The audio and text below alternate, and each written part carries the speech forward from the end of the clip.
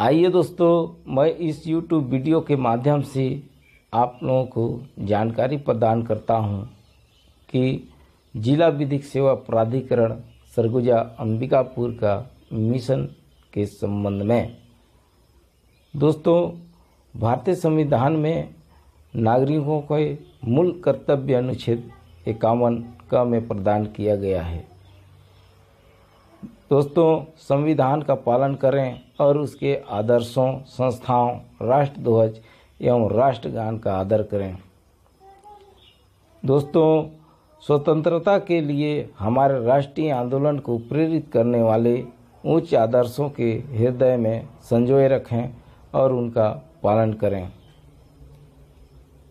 दोस्तों, भारत की संप्रभुता, एकता और अखंडता की रक्षा करें और उसे अक्षुण रखें, देश की रक्षा करें और आह्वान किए जाने पर राष्ट्र की सेवा करें।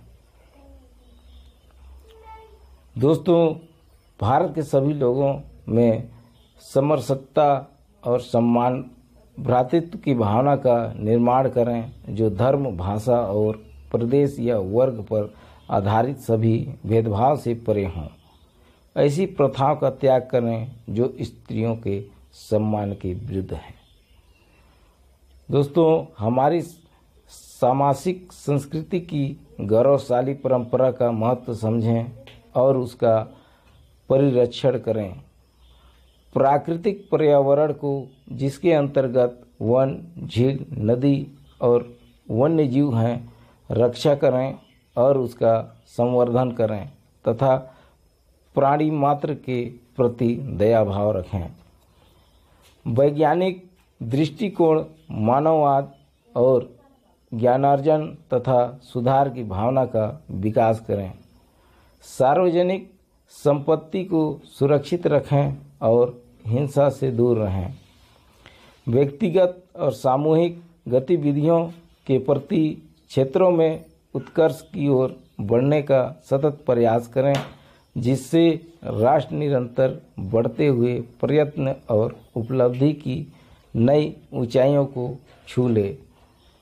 छः वर्ष की आयु से चौदह वर्ष के आयु के बच्चों के माता पिता और प्रतिपाल्य के संरक्षक जैसा मामला हो, उन्हें शिक्षा के अवसर प्रदान करें।